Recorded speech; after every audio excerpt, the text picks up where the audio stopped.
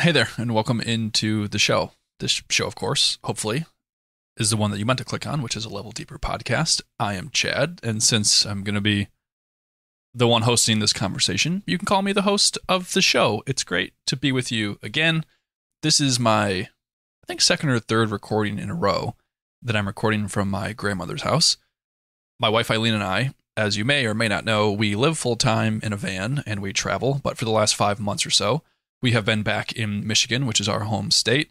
And uh, we've been kind of bouncing around, staying different places, living in a van in the wintertime in Michigan is not ideal and really not what we built it for. So, anyway, our dog Sadie had ACL surgery about a week ago. And so we've been staying at my grandmother's house. And it's been really special.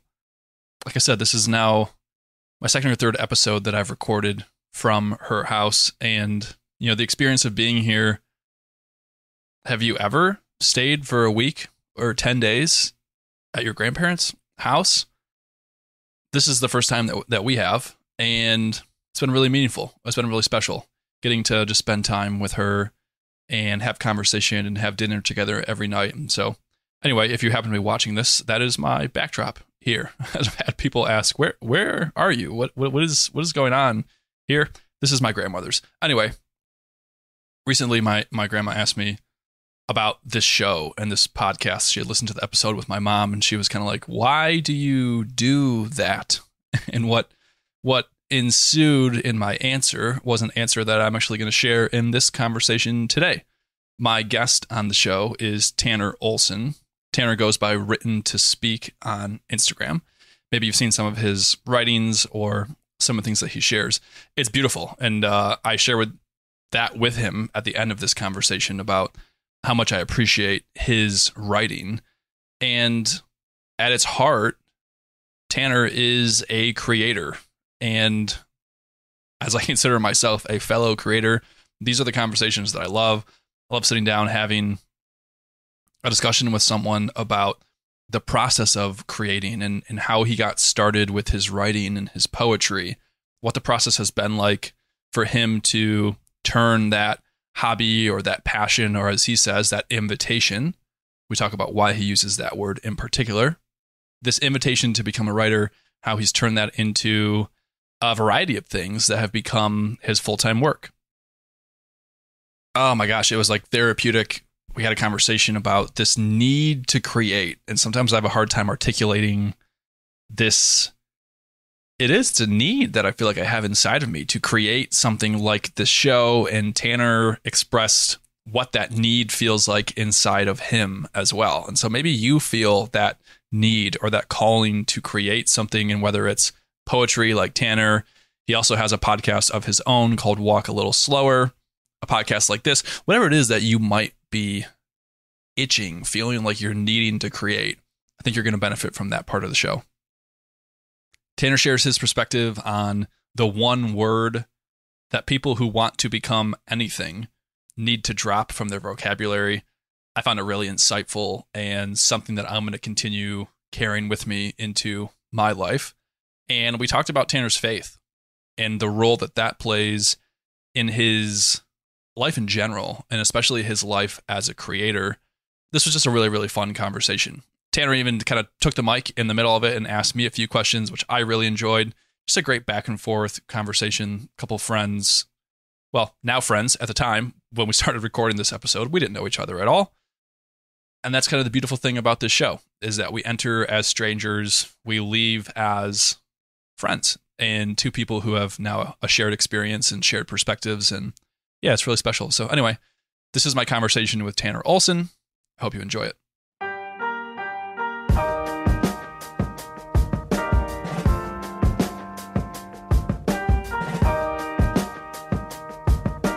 How many of these have you done on the interviewee side of things? By the way, congratulations on 100 episodes. Oh, thanks. Uh, yeah, it's the pod. my, I don't know what to say.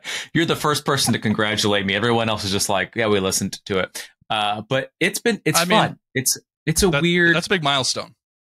I I think so. I you know honestly, it kind of snuck up on me. Uh, but it, it's it's a fun thing. It's a the, the podcasting world is a weird world. It's a weird space. I have done the thing where I'm consistent and now I'm doing the inconsistent thing where I'm like, this could be an episode. And then I just, here it is. Uh, it's just kind of like a fun side hobby to go along with multiple other side hobbies.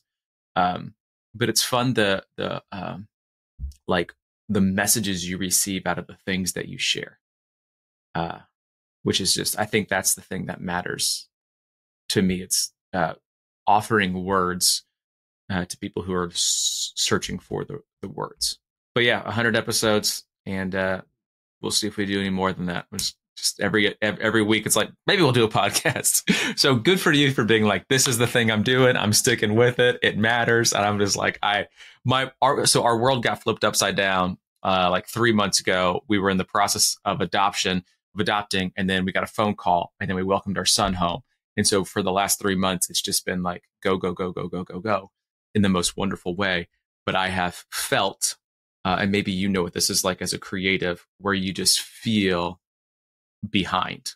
I'm somebody who I like to have like a week ahead, two weeks ahead, where I have space to think. And now it's not so much space to think, it's just I need to sh- create something and, and share it uh, and offer it to the world. Uh, so I'm kind of feeling that right now. That's why when I'm talking about the podcast, I'm like, yeah, we'll we'll see. It might happen. It it will, but we'll see what actually happens with it. So, yeah. How do you sort of process or deal with? And by the way, at this point, we're just we're just into the conversation, so we're just going to keep going. Uh, oh, I figured. Favorite favorite kind of podcasts are the ones that like there's no actual start; it's just going. Yeah. How do you, as a creator, how do you sort of deal with or process that feeling of feeling behind? What does that bring up for you, and how are you working through that? I think there's a so there's a difference between feeling behind in in life and there's a, feeling behind in work. I, there and feeling behind in, in life where like you see all your friends, uh, family members, or whoever it may be, be at this point in their lives, and you thought, oh, I thought I would be there by now, or I thought I would be, you know, I thought I'd be married, have a family, be working this job, have a house, like whatever it may be. Uh, that feeling is that feeling kind of feels paralyzing and suffocating. Um, whereas like feeling behind in work, that feels it. I've I've gotten to this point, but it, it feels more of like an invitation to surrender and be like, okay, like it's okay to feel like you're doing the best you can with what you have and although this is a new feeling, this isn't a bad feeling. Because like I said before, like I used to like be a week or two ahead. And so I'd have this space and this freedom to create. And so now it's like learning or retraining my my body, my mind to just enter into it and say, well, just now create from from this starting point rather than the old starting point. So I don't know. It's I think as a as a creative person, we, I mean, you as well, we put a lot of pressure on ourselves to make the thing, do the thing, and we forget that the the the doing, the creating is the gift itself. Uh, and so to learn to to enjoy that again, you know. So that that's that's what I think. What does surrender mean to you or look like to you? Because this is a word that comes up often I, I do coaching work with uh, someone I, I, had on the podcast, and we'll, we'll often talk about this idea of surrender. And I'll, I'll say to him, I'm just like, you know, that's a word I hear all the time. And mm-hmm. I'm not sure I have any idea what it means or how to apply it to my life. So I'm, I'm asking for a friend here. I'm trying to figure out what does surrender mean to you? And maybe I can apply something to my life.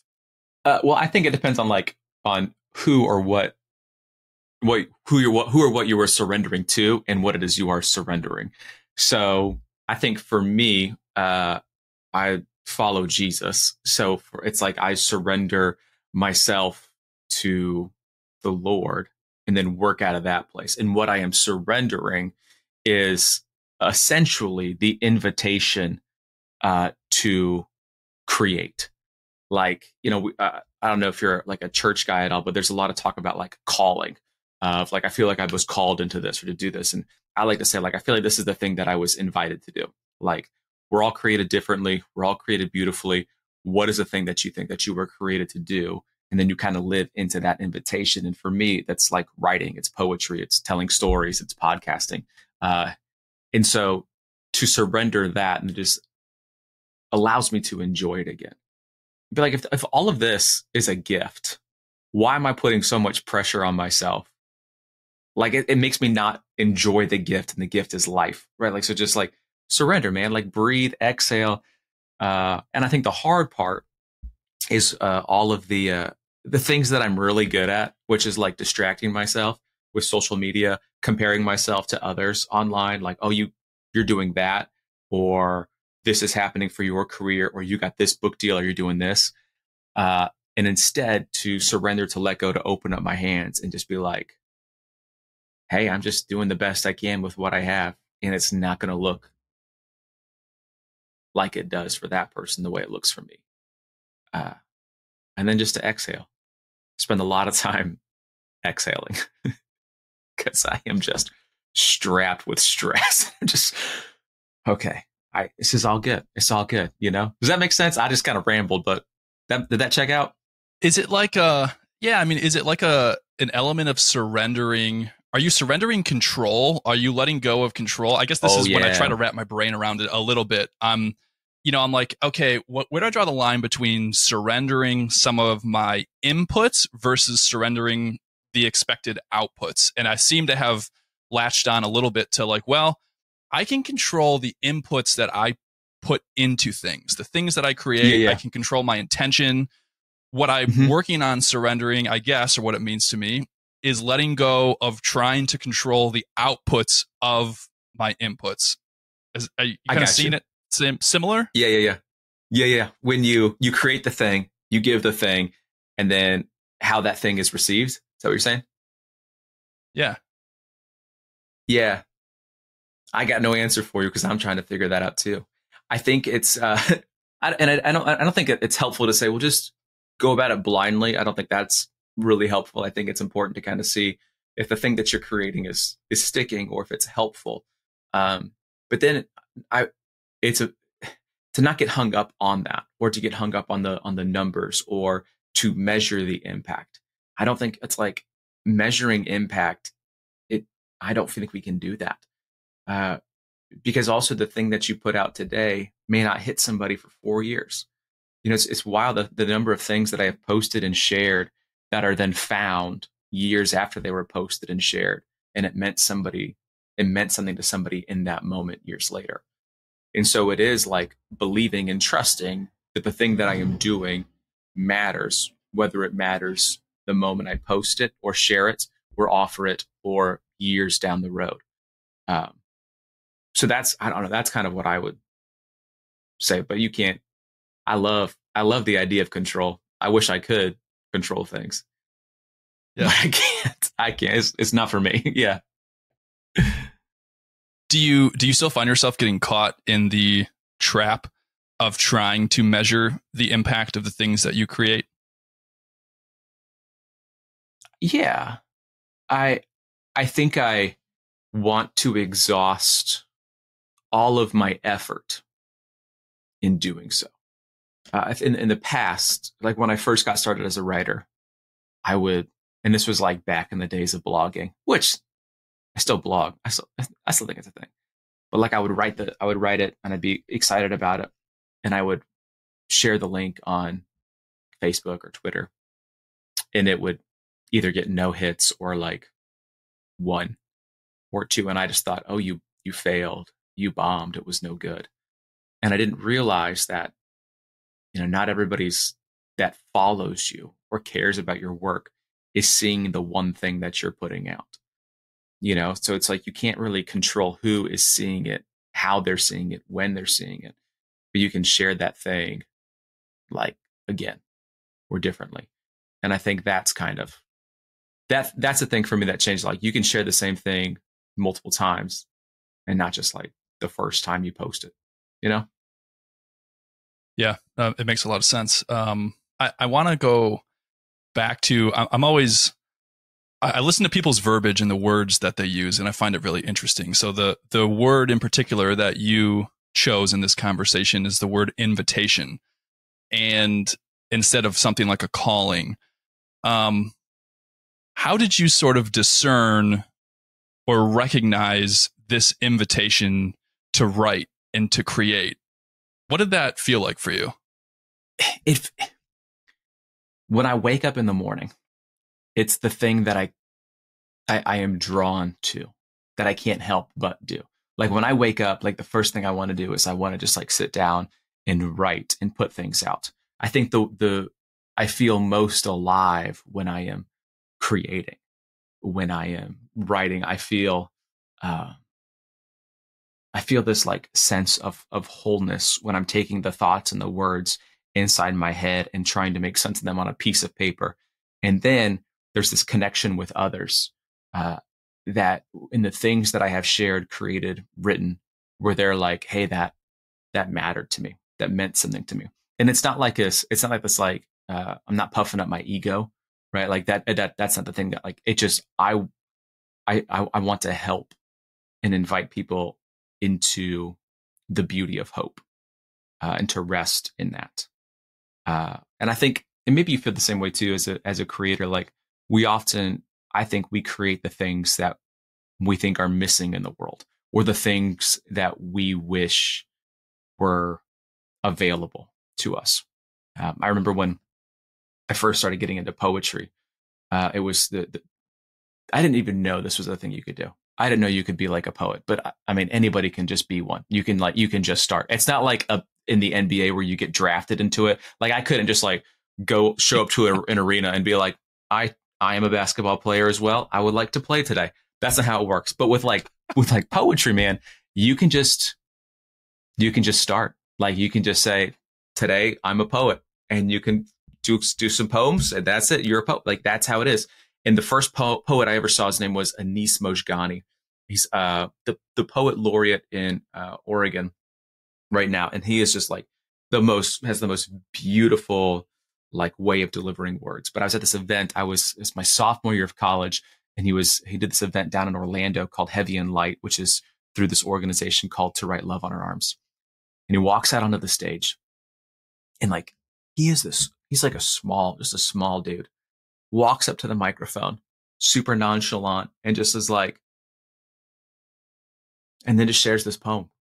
And I'm just like, just struck. Like, that's the thing. Like, that's what I, I want to do that. Like, that's, and there's something inside of me that came alive when I saw him do it. And I thought, there's, I can't go through this life and not do that.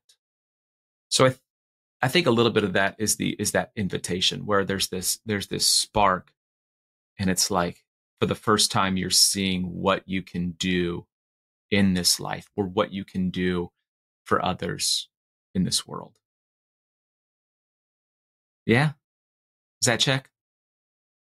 Checks. Checks. I feel, I feel like after every everything I say, I'm like, did that make any sense at all? Or did I just spend like three minutes talking?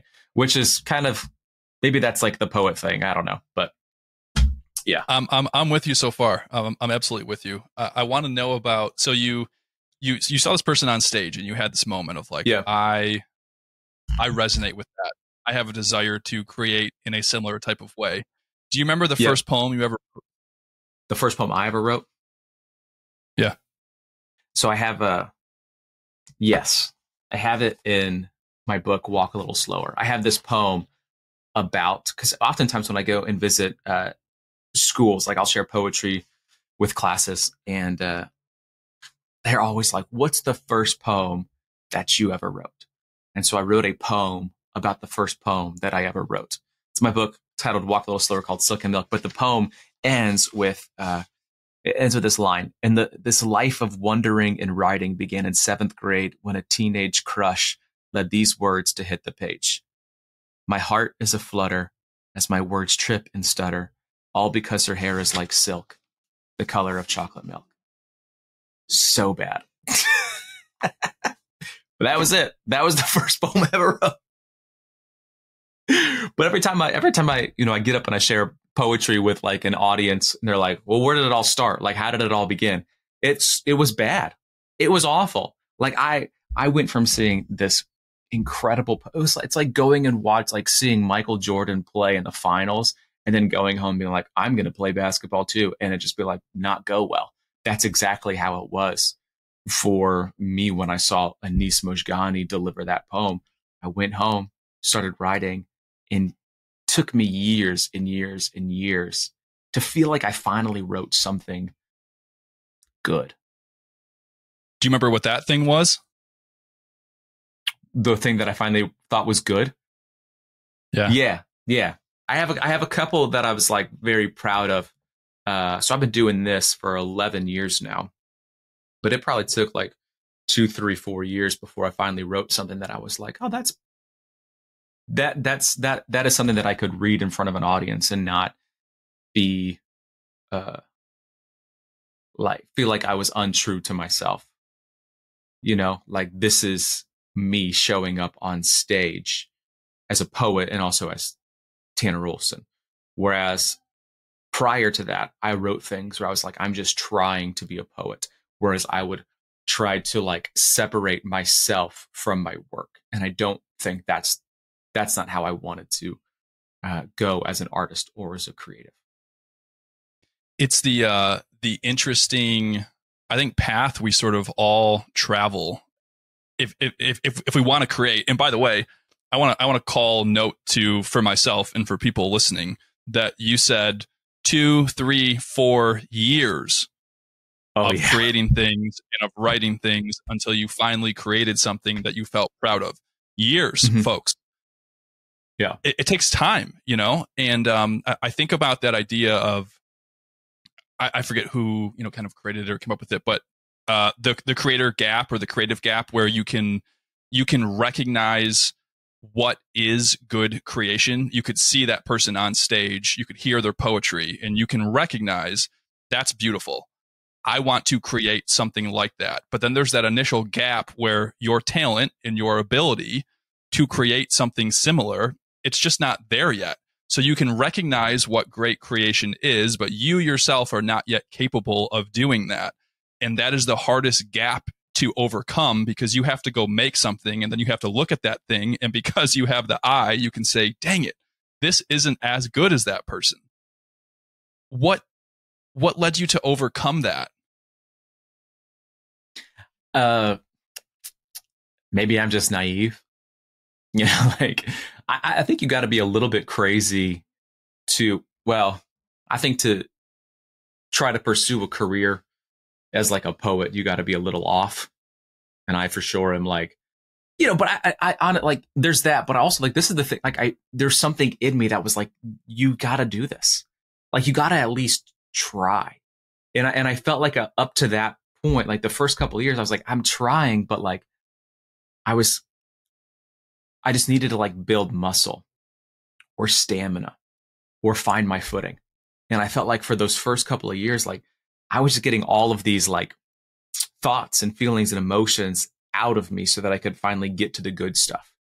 Like there's, there's like so much going on. Like you have to, you have to make some mistakes. Like if you're willing to be bad at something, you might just become good at it. And I was very bad at it. And I was like, but at some point, I think you're going to turn a corner and it, and it just, it just took. I mean, you have to you have to give the the the dream time. Um, when I when I talk with other artists or creatives, like I just want to be, I just want to get there. Like I just want to find my voice, or I just want to, you know, I want to be where you're at. And it's like, well, that's not. It just doesn't go. It doesn't happen overnight. Like what's the saying where it's uh takes ten years to become an overnight success, right? Like well, that's not encouraging, you know, and, and oftentimes it's like, if you like, we, we want this like, uh, microwave situation where really like we're, we're crock potting it, you know, like this is a slow cooker. It's not going to be ready in 90 seconds. Like it's going to be ready in a very long time. So sit back and stay hungry. And I think that's the thing for me is I just kept watching all these other poets and artists and writers doing doing what they were doing. And uh, I was encouraged by it. I was encouraged by it after I was uh, intimidated by it. Like I was intimidated by how good they were and frustrated that I was not yet good at the thing that I wanted to be good at, and then encouraged to keep going. Um, and th- that's the hard part. I think you know that you have to every day you wake up and you start again. Uh, you keep trying, you keep trying, uh, but also learning to to to to try with like open hands instead of closed fists, where you're just like, you know, you're offering it. You're not just like shoving it or pushing it. Uh, and I think that that was the hard part. Uh, that still is the hard part. I think that takes us back to that idea of surrendering, you know, offering it, oh, offering it with open hands and, and, and just giving something out into the world. You know, I, I really resonate with as you talk about this sort of innate need to create. I resonate with that a lot. I was the other day, uh, I'm actually right now staying with my grandmother and she's 80 years old. And the other day she was asking me, she was trying to understand sort of like what this podcast is and she's kind of like so why why do you do that uh and you know mm. it, it, it's kind of funny sometimes it just takes a simple question and, and it, it makes you think and, and you're like well how do i articulate this to my 80 year old grandmother about why i do this thing where i go and record these hour long conversations with people and i make zero money doing any of it but it lights this spark in me and how do i communicate this need that i have to put something meaningful into the world. And, you know, I, I tried my best to sort of do it, but I really resonated as, as you talked about putting something into the world that you think is missing. And, and that to me, I think is sort of the foundation of this thing that I've created is I'm just like, you know what? I think there's conversations that I want to have with people that I don't feel like are being yeah. had. And maybe based on some of my life experiences, I could put something into the world. But do you ever find it difficult to sort of describe to people this need to create? Oh, I thought you were going to uh, ask to uh, tell people what I do for a living, which is also very well, difficult. That, that but, too. yeah, I've got to imagine that's a little challenging as well. Oh, it's always it's always fun when people don't believe you when you tell them what you do. Uh, but I, I, I, when thinking about what it is that I want to share with the world, in in, in believing that there is like um, a hole uh, it's not like this, uh, oh, it's on me to fill it. I think uh, it's taking ownership of saying, I think that there is something that we can offer here, beginning to do that, and then kind of setting, creating a model for others to say, oh, I can do that too. And not only can I do that too, but I can do it better. Like when I when I go share poetry places or or speak, half the time I'm doing it, or one of the reasons why I do it is because I know that there's somebody in the audience who's going to one day do it better than me. Maybe that, that person has already seen what I do. Maybe they haven't seen it yet. But I know like when I when I go into a school, like I know there are better poets in that third grade classroom than me. Like I just I know it because kids are first of all like the they're the best writers that we have. But then like even sharing like these evenings of poetry that I've been doing where I share poetry and tell stories, it's like inviting other people who have maybe never seen a poet before be like, well, maybe I can can do that also. Whether they do that for uh, an audience or whether they just go home at night and just start writing. Because I think you and I both know that like when you create or when you write, it's like it's like free therapy, right? It's it's it's learning to to breathe again or to exhale or to surrender, like whatever we want to call it. But it allows us to move forward lighter. Kids kids are the best writers. Tell me about uh, why you say dude, that. They're so good. Oh, they're so they're so good because they don't they don't care. They care, but they they don't care what you think. They're just like, yeah, I wrote this, and then they share it, and, and sometimes they drop these like, I wish I could tell you lines that I have heard, but I my memory is pretty terrible.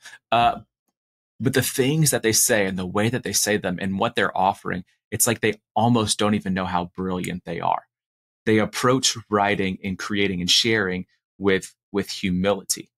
And and then oftentimes when they share it, there's no like trace of shame or uh, desire for there to be this great applause. It is just, oh yeah, I did the assignment. This is what I came up with. You know, there was there's one time I spoke at a school and we did like a writing exercise and a girl and I'll butcher the poem, but she basically was like, nothing rhymes with orange. And that's the way that I feel. And I was like, I am not sure you understand how like emotionally mature that is, you know, or how honest or, or beautiful it is. And so just like, I don't know, to, but, to, but but the the thing is, is would they have written those things had somebody not shown them that they can write those things? Right. And I think about the same thing with like with your podcast. Like maybe there's somebody listening or watching and being like, well, man, like Chad's Chad's doing this. I maybe I can do it too. You know? And so to set the example uh, of creating for a future creator, that is some that's some important work, I think. At least I gotta believe it's some important work it gives me uh, chills as I'm sitting here because I think that's that's the belief that I carry as well. It hasn't always been my belief. There was a time in my life where I thought that um, I thought that the path that I was on was the right path, and if people weren't following a similar path to I was, I thought that they were wrong. And um, this was a, a, phase in my life. I, I, call it like my my millionaire phase. I was in my young 20s, and uh, I wanted to go into real estate investing and I wanted to make a lot of money and I was all about entrepreneurship. You know, I had a full-time job, but I'd go work late at nights and I was like I mean, I sat up on this high horse and I looked down at my friends and I was like, "Hey, if you're not, you know, if you're not in this grind like I am, then you're you're doing something wrong." And it it was through a series of I guess just learnings and figuring out, you know what, this this really doesn't feel right. And leaving that job and going and living in my mom's basement for a while and doing landscaping work and painting and a lot of humbling experiences, but I've yeah I've come to this conclusion of the the saying that my wife and I use in all of our writings and all of our materials is whatever you do in life, make it meaningful. And to me, that just means I chose to go pursue entrepreneurship. I chose to go live in a van. I chose to start a podcast. I chose to do some of these things. That doesn't have to be your choice, but I hope you choose something to pursue in your life that is meaningful. I like that.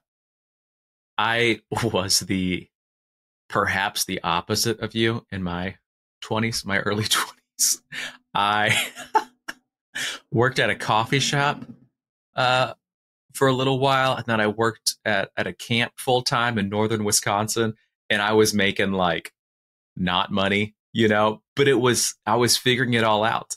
You know, it's just like, I have no idea. I, I spent I've spent most of my life. I still in this point where I'm like I have no idea what I'm doing, but but I'm but I'm I'm doing it, and I think kind of goes back to like you know making it meaningful. It's like well then kind of like how are you going about doing it? And there were times where I you know I was not doing it for the right reasons, or I did it with this like poor attitude, uh, or I was very like self seeking, self centered, uh, things I'm very good at uh, like most human beings.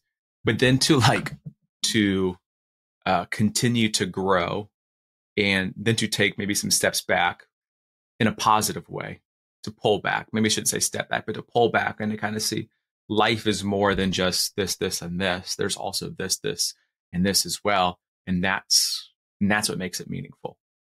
So is that always kind of playing in the back of your mind too? Is like, am I doing so is this meaningful work? Is what I'm doing meaningful. Yeah. Uh, you know, I think that's become my litmus test for how I make decisions in my life. Um, a lot of that was put into play because I, I lost my dad when he turned 50 years old. I was 17.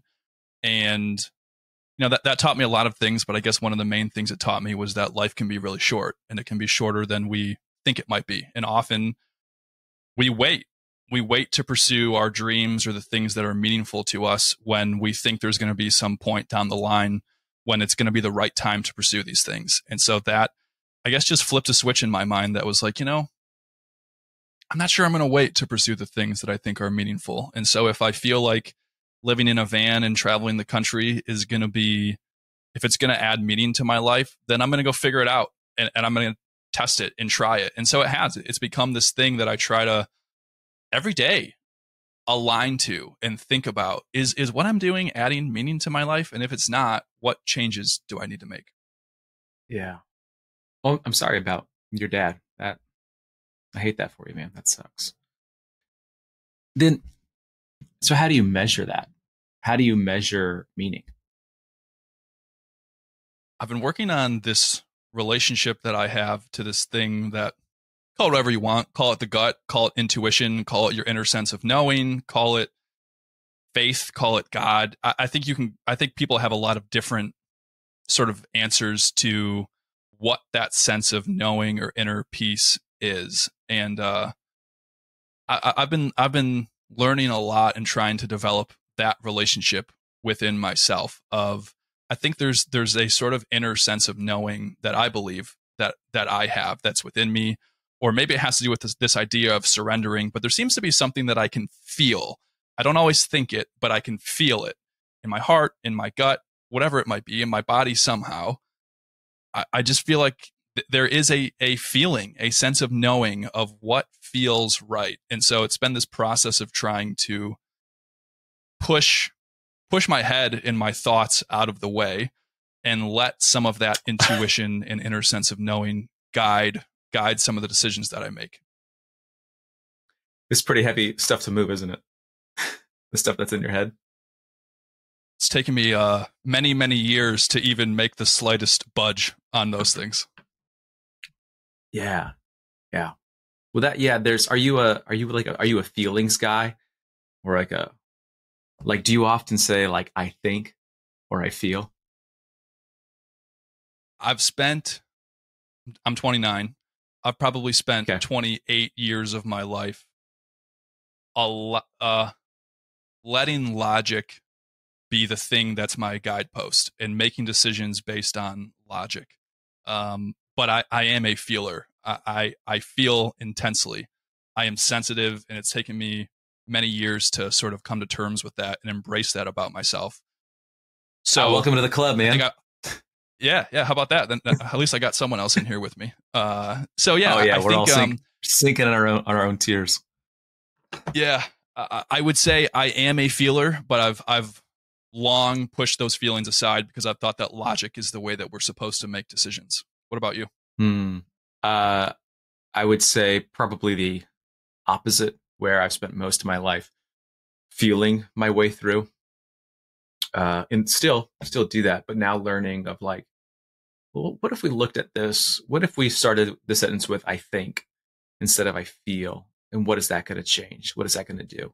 Not to disregard my feelings or to step away from them but i think sometimes feelings are uh, they're not something that we should not bring with us with us in the car but maybe they shouldn't be the driver. Uh, maybe they should be the passenger. I'm not going to stuff them in the trunk uh, but they're going to be there and I'm going to hear what they have to say. But perhaps there's other wisdom out there that's going to help me uh, navigate the journey ahead.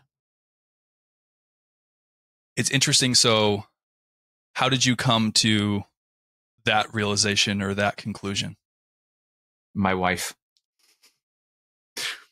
Uh, I, for a while, I thought everyone just feels like feels this way and I, I, knew from like an early age, maybe like middle school or high school, and that kind of goes back to to the whole poetry thing of learning and saying, okay, now everybody's does not feel as intensely as you do, or have as many emotions, or funnels their thoughts through the heart rather than the mind. It seems like, um, and then our first year of marriage, uh, we kept getting in like these these same little marriage conversations, and uh, eventually it was just like, oh you begin you begin with i i think and i begin with i feel. Like i i come i lead from a place of feeling and you lead from a place of of thinking. And so you have everything thought out while i am like kind of feeling my way through the situation. Like how are you doing? How am i doing? How does this affect us? How does this make us feel? Rather than logic says this. Uh, and so kind of taking that and seeing her perspective and approach to things and trying to then apply it to life and work and uh, decisions uh, it's been a real a real game changer for me. But it's like I feel like it's kind of taken my vision from narrow and just widened it just a little bit more. Hmm. Yeah, I mean it's it's interesting because as you described the role that logic versus feeling or emotion has played in your life, and, that car analogy I think is a is a good one. Um, but what's funny about it is how maybe it's just our our life experiences or the people around us how they maybe create a perspective that's different because as I heard you describing that, I would say for me, it's probably the exact opposite, where I have allowed logic to be the driver. And now I'm trying to allow feeling to be the Mm. driver and logic can Yeah. sort of be in the car around me. So it's it's kind of interesting Yeah. how our life experiences have led us to maybe some different conclusions about the role that each of those should play in our lives. Sure. And I think the the goal is not uh, I, I think the goal is rhythm, right? Like finding a rhythm of, you know, like now is now is a feeling time, now is a thinking time. And it's just let's playing into that. Uh not a balance. Balance is uh, balance is a hard like rhythm. Like what is the rhythm? And then learning to to dance with that as we go through life. I, I, I like that. I tend to find it's an and equation. There, Mhm. There's a role and a purpose behind both of them, and and can be can be the answer. Mm-hmm. Yes. Yes. Agreed. What? How do you answer the question when people ask you what you do for a living? Uh, it depends on the person. Uh, most of the time, so let's say 'em- let's say that I'm asking you. I would probably tell you that I'm a writer because it, it, and then it always gets to well then what do you write? And then I say well I write poetry but I also write stories. And you know there's just there's so many different I think there's so many different ways to answer it and I'm still I still haven't found the right way to answer it. Uh, but if somebody were to ask me and I were to be brutally honest with them I would say that I am uh, I'm a writer. I write poetry I write stories um, and then I'm also a speaker and a podcaster and a coach. Like I do all these little things, but uh, the I do all these little things to do the main thing, and the main thing is I, I'm a writer. Yeah, it's uh. Well, how are you often met after you give that response to people? if I say if I tell people I'm a poet, they're like, "Wait, really? No, you're joking." Because I make a lot of jokes, and then they're like, "Here, wait, that's not true." I'm like, "Well, no, it it very much is true. Like I I I write poetry, and I that's what I that's what I share around." Uh, and I was like, "Oh man, I always you just kind of you don't strike me as that." And then I I share something from the stage, and they're like, "Oh." All right, so you are. Well, I wasn't lying to you, buddy, but you know, uh, so oftentimes it's kind of met with like, there, it's a, it's a, it's a, it's a lean back and then it's a lean in of like, oh, really? Well, tell me more about that. And I'm always happy to to, to share more about it. Um, I think when you, you know, maybe for yourself when you say, you know, I'm a podcaster, they're like, well, well, how does that work? You know, it's like, well, we just kind of make it work. That's the kind of the creative way is you just kind of keep keep doing it and keep giving it what you have and, and seeing if you're going to be able to do it again the next month and the next month and the next month. I, wonder if there's um sort of a societal lens that when people hear you say I'm a writer or I'm a poet, if people are kind of like, well, how? Like you can't be you can't make a living doing that. That can't be your real job. You know, it's like that Yeah. can't be how you actually make money or make a living. Yep. Do you feel like people Yep. apply that kind of lens when they hear you say that? Oh man, it's nothing. I yes, uh, half the time it's like, uh, well, you can stop looking at me with like sympathy, like I'm. We're making it. We're doing. We're doing it. Like it is a real job. Like it. It. There's there's a space for it. A, lot of it is also uh, helping others to see the importance of uh, perhaps what you do and what you offer to the world. Um, it's hard when you're just in a conversation with somebody and they ask you what you do and you tell them that you're a writer or you're a poet. Now, it would be one thing like if if you were like, "Oh, I'm a writer," and your name is you know J.K. Rowling or you know like who, whoever, and they're like, "Well, yeah, of course you're a writer." But then they look at me, they're like, "Why? How come I haven't heard of any of your books?" And I was like, "Well, maybe you haven't been looking in the right section. It doesn't mean that they're not there. Like they are there." I was like, "Well, I've never heard your stuff before." Well, you've heard of like the top 10 most famous people in the world stuff. I'm not in the top 10, not in the top. I'm not in the top. But like there are still a lot of uh, artists who aren't as big of a name, creatives, writers, poets, podcasters that are still able to do all of the things. It's not just like a, it's not just a top heavy thing. Like there's people all the way down and throughout. So I don't know, watching people uh, respond to what I, when they ask me what I do is, is always a gamble. It, man, so I used to work in a church too. And so like I'd, I'd fly around and I'd go do events and shows and I'd be sitting next to people on the airplane and, and they'd be like, so what do you do? And I was like, man, this is either going to go like, if I tell them I work at a church, they're like, I'm going to get like three responses, which is like, oh, yeah, yeah, I go to church too. Or, oh, that's not for me. Or like, uh, some other random response that's just going to be like very awkward and uncomfortable. Or I could tell them that I'm a poet, which will then be like another awkward response. So I always felt like when I was like, I wasn't ashamed of any of the things that I did, but I was like, I kind of feel bad for this person because what I'm about to tell them is going to shock them. Like what they really want me to tell them is that like, I'm a doctor. Like everyone wants to sit next to a doctor on an airplane. That'd be great. They want me to, maybe I'm a pilot, maybe I'm something else, but like a poet or a church worker, man, there's like going to get thrown for a loop and be like, well, I don't really know how to recover from that response. So, but it was always a lot of fun. Have you ever just been like, uh, oh, I, I sell software for, uh, you know, for a tech company? Okay. You know, I've, I've thought about it before. Uh, but I'm, I'm not the, I'm not the best actor or liar. I would have at some point in the conversation been like, would have mentioned that what I actually do and lost all credibility. Uh, but maybe one day I might just say, um, today's an acting day. I'm going to try it out. I'm going to learn everything about software engineering without actually learning software engineering. I was like learn, but with my luck, I would sit next to somebody who invented it. And I'd be like, well, I'm actually Mr. Software Engineer. Oh, great. cool. Didn't know that was a thing, sir. Ma'am, I don't know. You, uh, there was something you had written, or maybe I listened to it on your podcast recently. Um, it, it might have been as you were talking about the story of of how you got started 11 years ago, and you talked about removing the word aspiring in front oh, of whatever it may be. And so that would be, you know, at one time you considered yourself to be an aspiring writer. And then you talk about removing that word.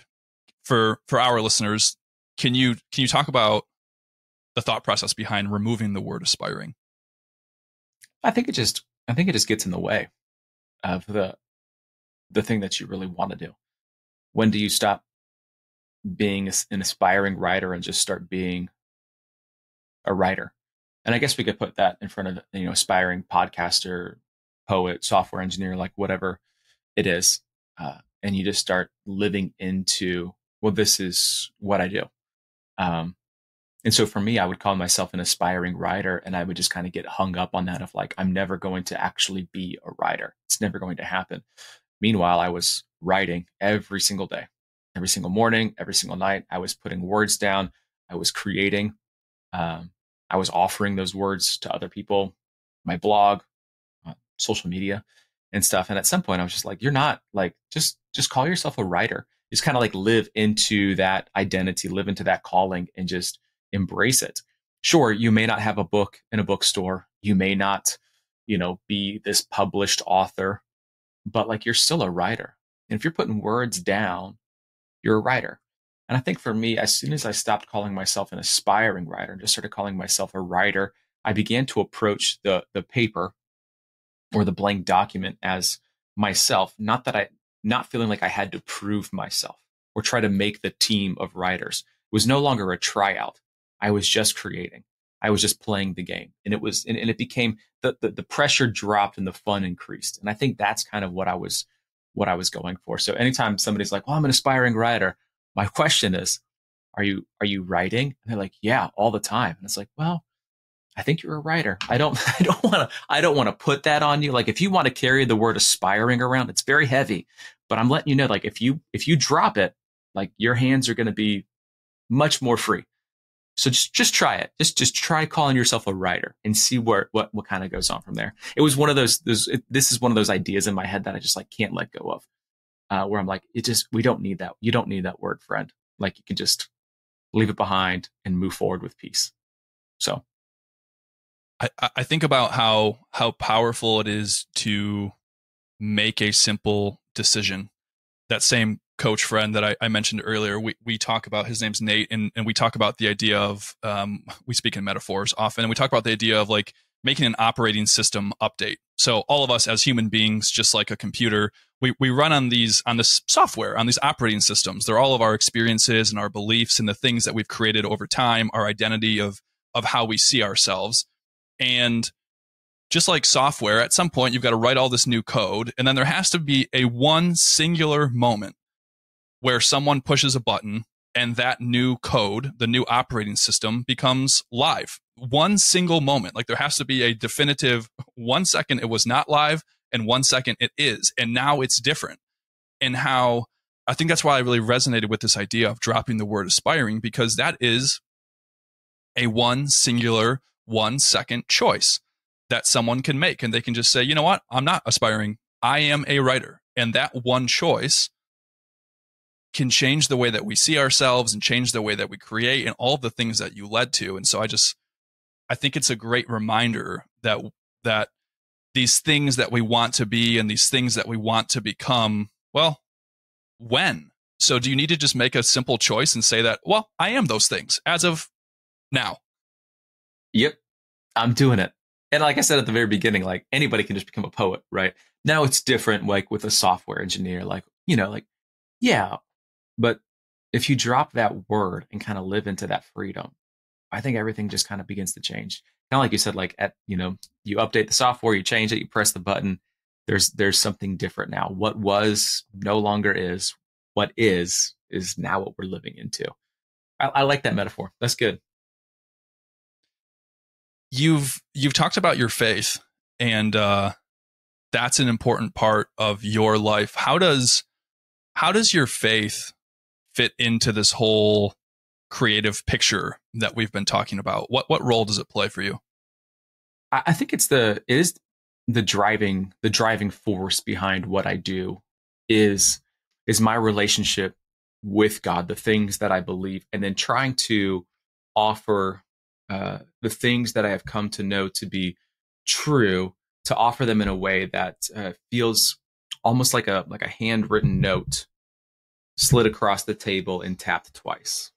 Something that is just like offered of here's the things that I've learned, seen, felt, asked, doubted, questioned, all, all those things. Um, maybe it means something for you as well.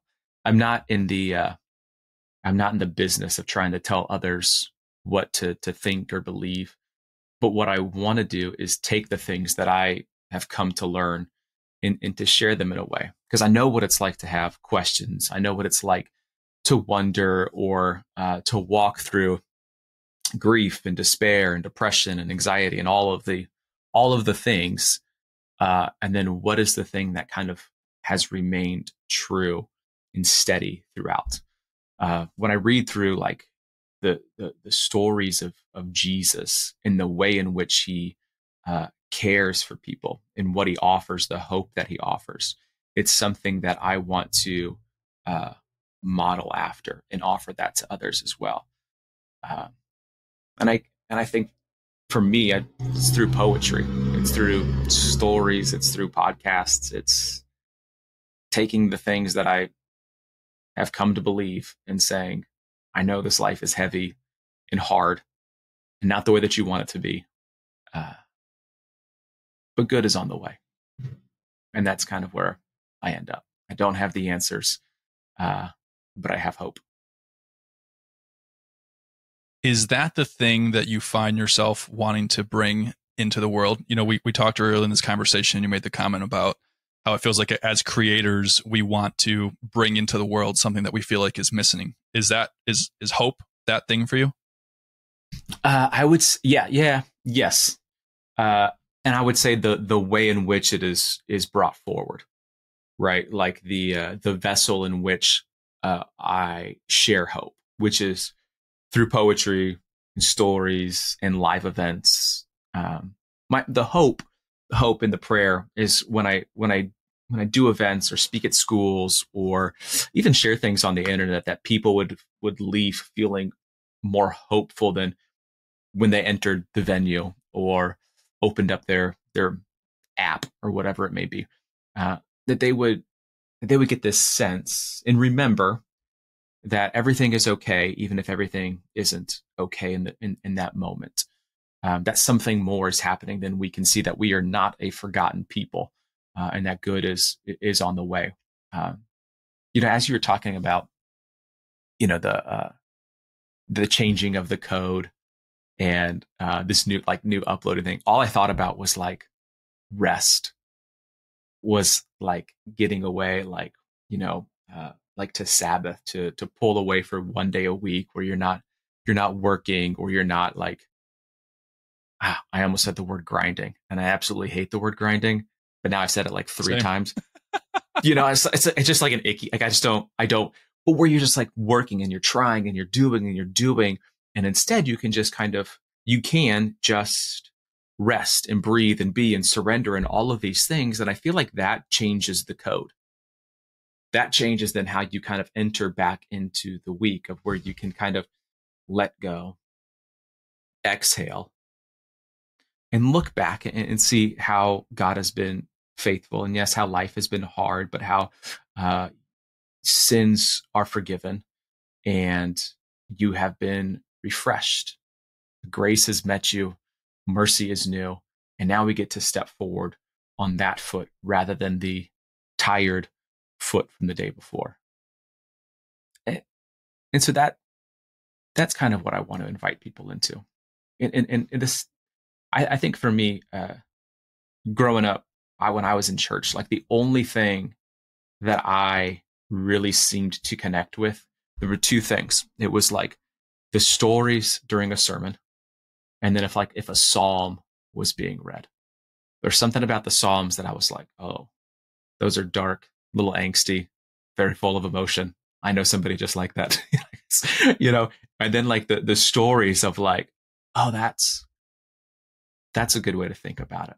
And I think poetry kind of does that. It's not a sermon, it's not a song, but it's kind of somewhere in between. And if you read my poetry or attend one of my events, it's you're gonna you're gonna hear stories and you're gonna hear poems, and hopefully those uh, those point you to something greater than the one who is sharing them, uh, but also reminds you that hope is real and it's for you. You talk about rest. Have you always had that relationship to the idea of rest? Oh no. Oh, absolutely not, man. You can't you can't have a good relationship with something uh, right away. No, that's not how it works. Uh, I was terrible at rest. I was go back to that G word. It was always I was always I was just always trying. You know, those first couple of years of wanting to be a poet, it was like it was unhealthy. I seemed to kind of obsess over it, of like wanting to be where I wasn't of wanting to be somebody that I was not yet, of wanting to have uh, like an area to share my words, but I wasn't I wasn't ready for any of those things. Uh, there was just a lot of wrestling. There was no rest. I was always trying to get to the next thing or write the thing or do the thing. And I think, you know, if I could go back and do it all again, I would just go slow instead of trying to run and wrestle my way forward. I would just take these small, slow steps. And eventually it, it got to that point where I was like, you are just spinning the tires, man. Like, what if you just kind of took it one day, one prayer, one breath at a time, um, instead of trying to skip ahead to the good thing because you're missing a lot of the good stuff that's right in front of you. Uh, we can't because we can't, you know, we can't skip ahead. You can't skip ahead to the 50th episode, 100th episode, 200th episode. You got to take it one at a time and make mistakes and invite people like on me to the podcast. You know, like you have to do to get to where you really want to go. But, you know, it's like the, you know, the, it's all about the journey of figuring it all out of, uh, cause you can't, you can't build muscle without working out, you know, can't make bread without working the dough and this is this is what we're doing. Did that make and building sense? that it it does and building that Okay. relationship to rest and to going slow into all of those things I find to be a forever journey as well because I can sit here and nod and be like yes I know I've got to do one at a time and like I, I totally agree and then tomorrow I'm probably gonna you know be freaking out to my wife and be like ah why am I not 100 steps down the road and you know that's a forever Yep. journey and it ebbs and flows so I feel like just a, a reminder for anyone listening to this that it's not like we have all these things figured out as well. We're we're forever constantly sort of struggling with them and trying to work on Mhm. our relationship to these things. And, and I think it is important, like alongside of rest, to take a moment to kind of look back and see, see like what's happened along the way, the steps that you've taken, the the good things, the bad things, the things that you've learned. But if we're always like focused on, oh, we're not there yet, we're not there yet. What have you been through? Because at one point you weren't where you are now.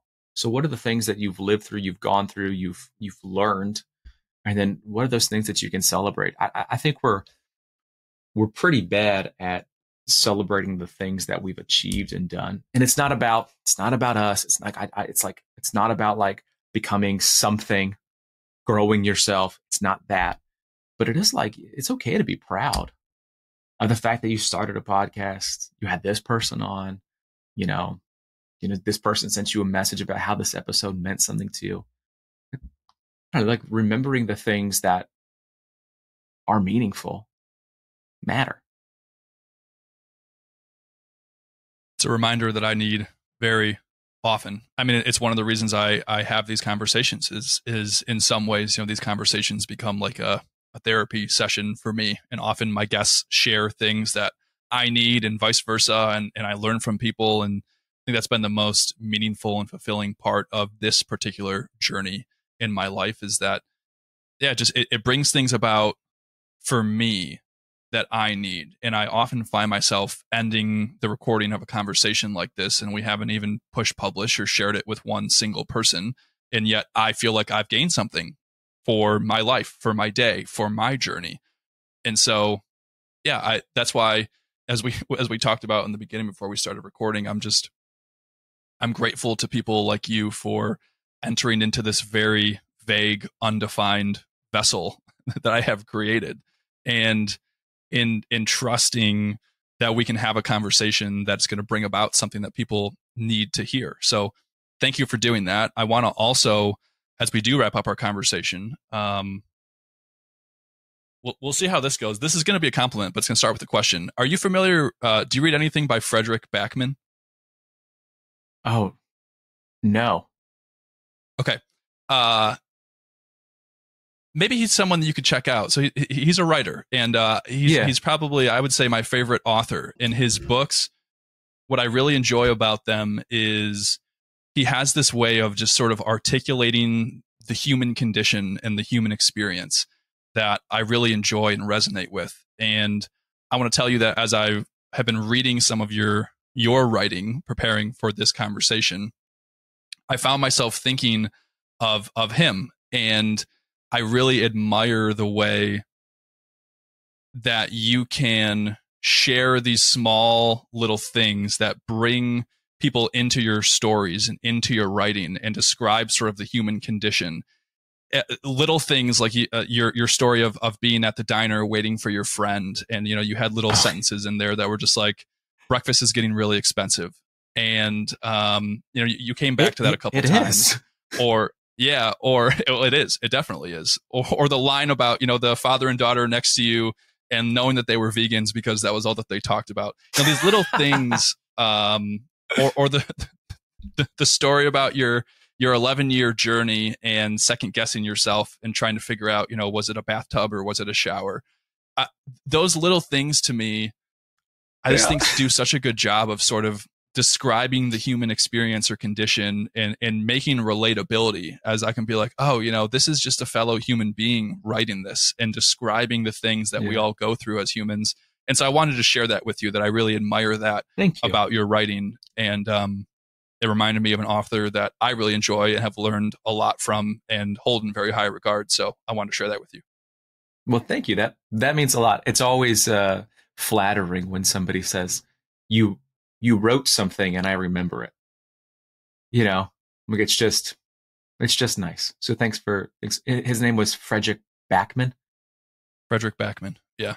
I'm going to look it up. Look him up.